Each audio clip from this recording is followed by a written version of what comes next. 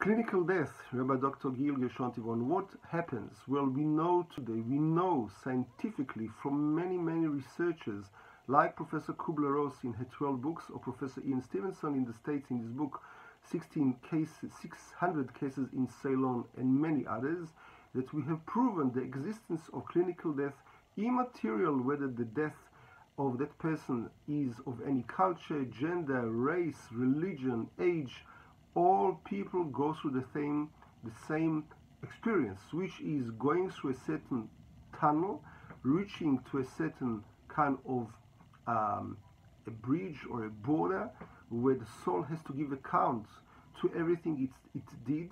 It's being shown a videotape with dubbing and hearing and smelling and seeing exactly what were our intentions and what we do during every single moment of our experience in this reincarnation.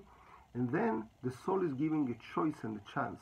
Do you want to correct your actions, come back here and live again in a corrected, better way, in a godly and divine ways, as it says in the Ten Commandments, as it says in the Bible, given to Moses at Mount Sinai, or does it want to pass through and go through and does not want or does not have the ability to fix whatever repair has to be done in this world?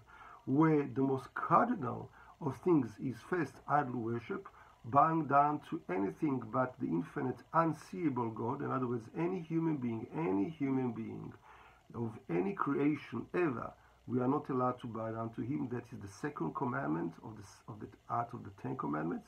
Second thing is is idol idol worship. Second thing is idolatry, right? With married women, married men, etc.